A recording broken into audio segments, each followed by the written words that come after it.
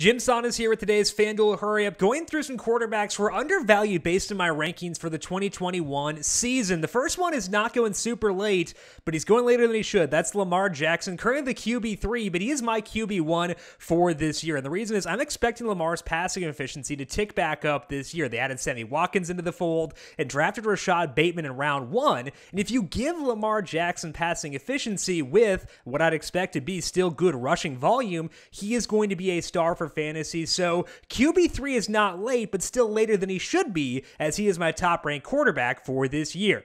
The second guy I want to touch on is Dak Prescott. Similar to Lamar, not going super late, but lower than where I have him ranked. D- Dak Prescott, for me, the QB4 for this year. And the reason is he kind of has everything you want in a quarterback. There's some rushing there, specifically near the goal line. And I'd expect there to be a lot of efficiency this year for the Cowboys. That offensive line is healthy once again. They've got those three wide receivers back as well. And they showed last year that when Dak is healthy, they will air things out. So Dak Prescott is the final quarterback before I have a tier drop off. And I think that he is actually higher than the QB5 for this overall season. So Dak Prescott, to me, worth his draft slot because of the upside he possesses as the potential QB1 for the season.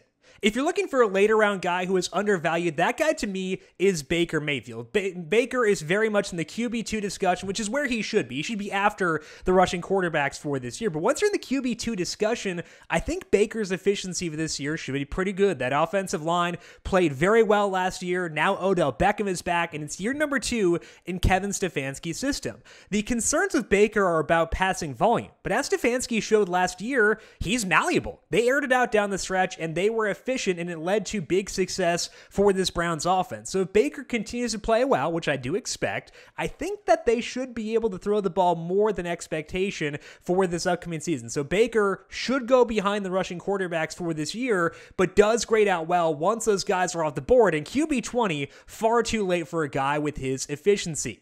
That'll wrap things up for today's FanDuel Hurry Up. I am Jim Sannes saying so long for today. Back again next week to talk some undervalued running backs for 2021.